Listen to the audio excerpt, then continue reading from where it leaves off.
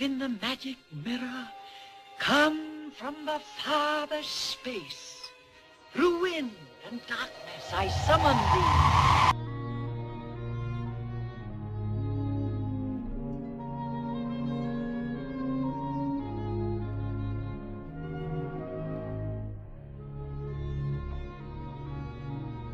In a faraway land, long ago, lived a king and his fair queen. Many years had they longed for a child, and finally their wish was granted. A daughter was born, and they called her Aurora.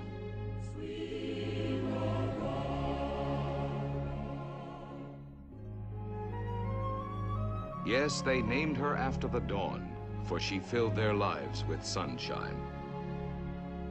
Then a great holiday was proclaimed throughout the kingdom, so that all of high or low estate might pay homage to the infant princess. And our story begins on that most joyful day. On that joyful day, on that joyful day.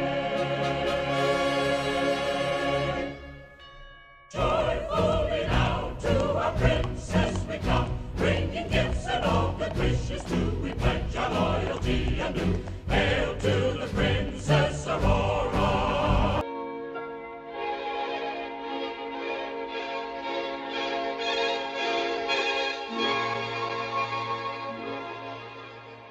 Once upon a time, in a faraway land, there was a tiny kingdom. Peaceful, prosperous, and rich in romance and tradition. Here in a stately chateau, there lived a widowed gentleman and his little daughter, Cinderella. Although he was a kind and devoted father and gave his beloved child every luxury and comfort, Still, he felt she needed a mother's care. And so he married again, choosing for his second wife a woman of good family with two daughters just Cinderella's age, by name Anastasia and Drizella. It was upon the untimely death of this good man, however, that the stepmother's true nature was revealed. Cold, cruel, and bitterly jealous of Cinderella's charm and beauty, she was grimly determined to forward the interests of her own two awkward daughters. Thus, as time went by, the chateau fell into disrepair, for the family fortunes were squandered upon the vain and selfish stepsisters, while Cinderella was abused, humiliated, and finally forced to become a servant in her own house. And yet, through it all, Cinderella remained ever gentle and kind. For with each dawn, she found new hope that someday her dreams of happiness would come true.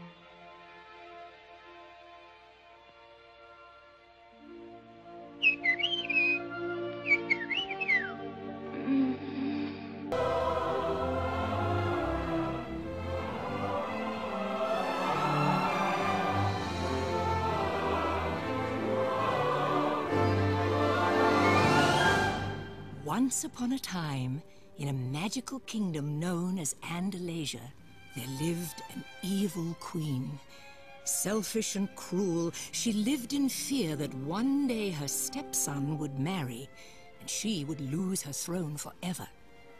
And so she did all in her power to prevent the prince from ever meeting the one special maiden with whom he would share true love's kiss.